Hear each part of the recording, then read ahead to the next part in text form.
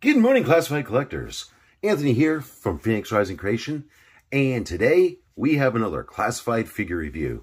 That's right, today we're doing number 70, Shipwreck.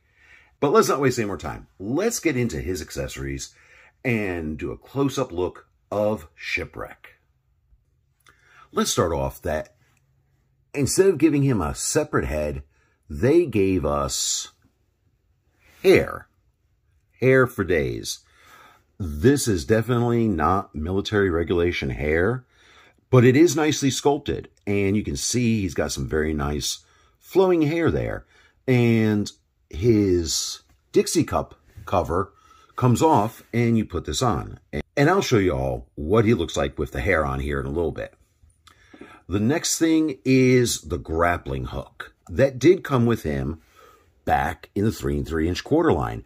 This is nicely sculpted and the silver art deco is really cool.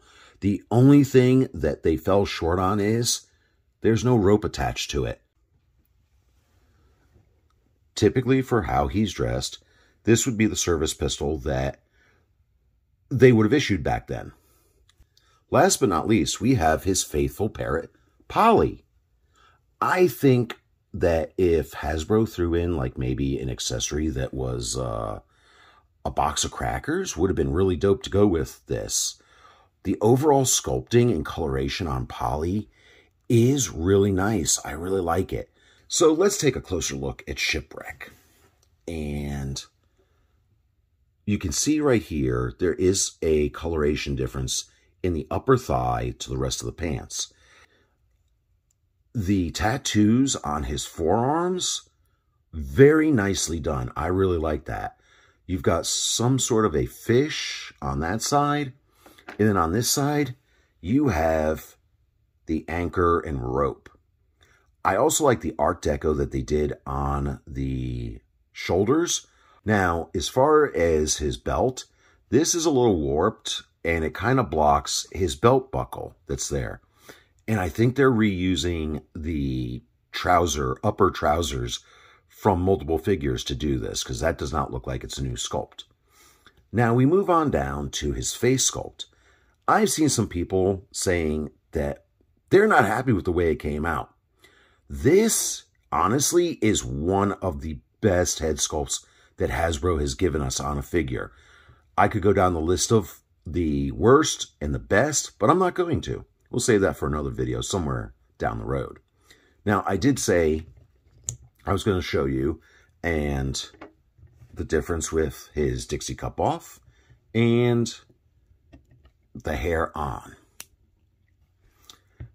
So now you got supermodel shipwreck with all that hair. I think he looks really good with either this on or the hair.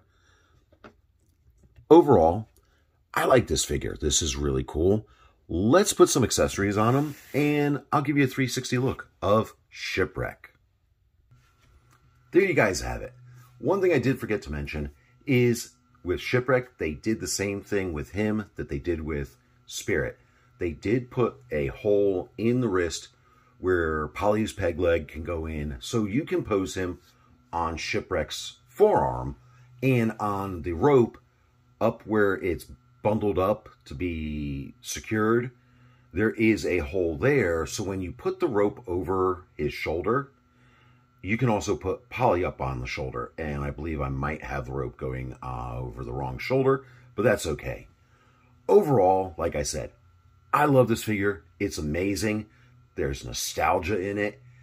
And if you guys look as he's spinning around, that hand cannon of a double-barreled flintlock in that holster looks amazing.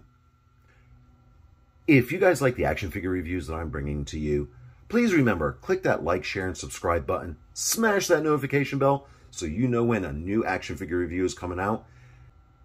And until the next video, stay safe, be kind, and keep on collecting. And we don't know if Polly will make it to another video review.